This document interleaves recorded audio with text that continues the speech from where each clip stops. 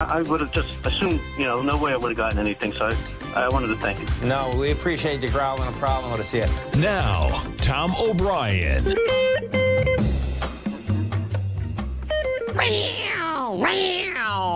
I love it. Welcome, folks. This is Tom O'Brien of TFNN. We go five days a week. We go seven hours a day. We go 24 hours a day in the internet at TFNN.com. Always remember, folks, whatever you think about, you bring about whatever you focus on grows. Hope everyone's having a, a great day, safe day. Let's make it a great night, folks. July 21st. Check it out, man. Pretty wild. Always do your best, but don't overdo.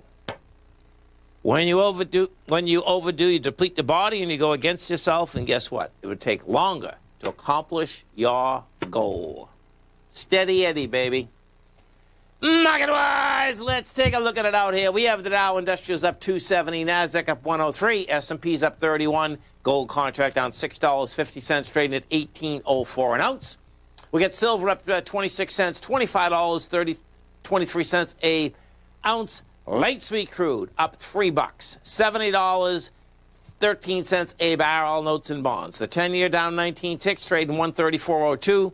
The 30-year off one point plus 14 ticks at 163.21. And King Dollar. King Dollar's down 212 ticks, trading at 92.791. The euro is at 117. The yen is at 110.29. The British pound's at 137 to 1 U.S. dollar. Our phone number is 877 927 6648. Give us a call, folks. Want to know what's going on in your world? In the world of the S&Ps, let's take a look at them. What do you have? Well, bottom line, folks, is that you get follow through in the market. We have a big down Monday. Market shakes it off once again, man. Uh, right now, so the, the low of the high inside the SPY, folks, is 434.91. Well, guess what? We're at 434.31. And that's saying to me, guess what? We're going right after it, man. And you get two full days before the end of the week to get up and into that area, and I expect that's exactly what we're going to see. NDX 100 is going to lead a little juice now. So the NDX 100, the three Qs, um, yesterday, nice return yesterday, no doubt. You know, your bottom line is that you go higher. 43 million shares. Now we're at 22. Now this is this is a classic to flip around to, into consolidation.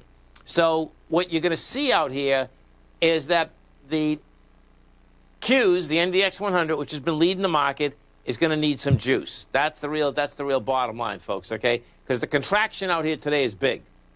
The last highs that were out here, we got up to those highs with 39 million. You know, yesterday you had some decent juice, but today it looks like it's only going to do about 28. As long as it holds price, though, guess what? You're going to see it up at those highs. That's the bottom line. Now, inside the NDX 100, what's moving it out here today is that you have ASML, that's up 5%. Lam Research up 4.4. Clack is up 4. Now, that's a monster positive in the context, folks, of I talk about this all the time, that the chip stocks take you up, take you down. Bottom line, you can see Clack is taking us up. NDX 100, three of the top four out here today are all in the chip space. That's a big positive. And the negative out here, you get Netflix is down 3.9%. That's trading at 510. That's traded from 530 to 505 today. Come out with numbers last night. You get Illumina down 1.8, Gilead's off 1.3. We go into the Dow Industrials. We take a look at the Dow. The Dow, no doubt, printed monster numbers. Goes down in a monster way. And you got to remember something and this is what you got to wrap your head around, is you got to deal with percentages, folks, because we're dealing with much larger numbers. And if you start thinking about the aspect of the Dow going down or up, you know, six or seven hundred points, well, six or seven hundred points inside the Dow Industrials um, is not a lot, uh, not a big percentage. Uh, we got down to a price point inside the Dow Industrials of uh, thirty-three thousand seven forty-one, and guess what? You're at uh, thirty-four thousand. We're, we're a thousand points above that right now. This is going after its highs once again. If we take a look at inside the Dow Industrials, the strength versus the weakness out here, you have uh, Goldman. That's the second day in a row that Goldman's the leader inside the Dow Industrials. Goldman's put 58 positive points, Boeing 33, Chevron 29, taken away from it, Amgen 15, Apple 4. Gold, gold contract out here. This is going to get really wild with gold, man. The bottom line is that they've been selling, selling, selling, and they're going to continue to do that, folks, until it doesn't work any longer, and then you're going to see this thing explode.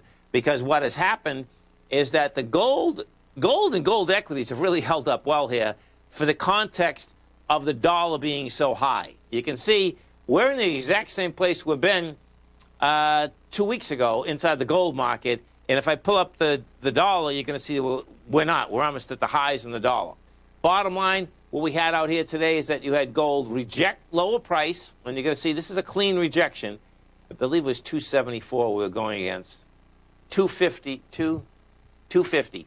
So you did 250,000 contracts on Monday. You got down to a price point of 19, uh, 1795. We did 1794.30 today. You rejected lower price. That's what it takes for higher price to come at you, which is pretty cool. We go over to the dollar index, and you're going to see just the opposite inside the dollar index. Dollar index got to a price point of 93, 191, gave it up and gave it up in spades. We're at 92, 745. We got to go to the oil market and see what's happening with oil because this is like an incredible move in the context of actually what has happened inside the oil market. So they, they tell us that they're going to pump more oil out. As they tell us they're going to pump more oil out, oil, you know, we haven't seen moves like this in quite some time. Oil went from $71 down to $65 on Monday.